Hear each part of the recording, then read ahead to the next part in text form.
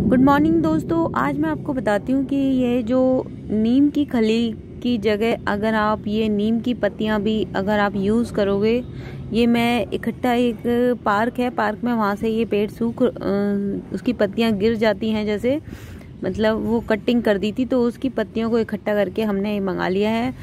तो इनको मैं साथ में जैसे हम जो कंपोस्ट बनाते हैं, कंपोस्ट के साथ जैसे गीला कचरा जो हम, जो गीला वाला जो पील्स वगैरह हैं, सारे हम डालते हैं, उसके साथ हम एक पोर्शन इसका भी डालते जाएँ और थोड़ा ज़्यादा भी डालते हैं तो उससे हमारी जो ऑर्गेनिक कंपोस्ट खाद है, वो जल्दी बनेगी। कंपोस्टिंग जो हो रही है हमारी, उसका प्रोसेस जल्दी होगा।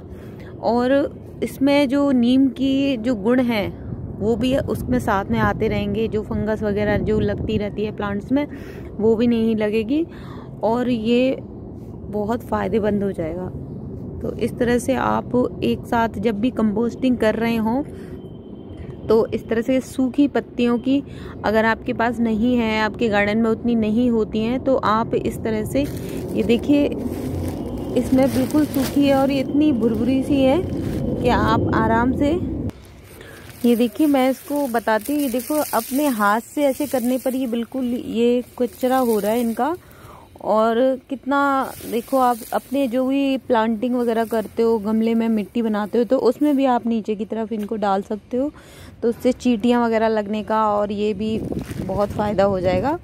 और जो गमला है आपका, वो इतना मतलब लाइट वेट रहेगा, एक तरह से ये आपकी उसका भी काम करेगी कोकोपीट वगैरह जिसके लिए लाते हो तो थोड़ा हल्का हो जाएगा, जिसके हल्के होने की वजह से। और फ़ायदा तो है ही। तो ये काफ़ी बड़ा है। देखो, इस तरह से आप लेके आ सकते हो इकट्ठा में भर के। और आराम से आप अपने प्लांट में भी डालते रहिए इसको, मिट्टी बनाते टाइम और अगर आप कंपोस्टिंग घर पे ही ये करते हैं, आप खाद बनाते हैं अपनी छत पर तो आप धीरे धीरे उसमें भी डाल सकते हो। उससे ये फ़ायदा होता है, ऊपर, उसके ऊपर लेयर जो डालते हैं आप उससे जो ये मक्खी वगैरह आती हैं, मक्खी वगैरह दिखते हैं, कीड़े वगैरह तो आपको नहीं दिखेंगे स्मेल भी नहीं आएगी। तो इसका अमाउंट थोड़ा ज़्यादा डालिए और जो गीला वाला है, उसका कम डा, जितना है, उससे डबल डाल दीजिए।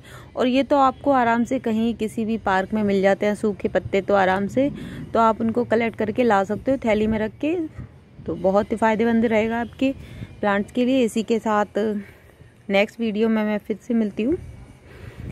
Bye.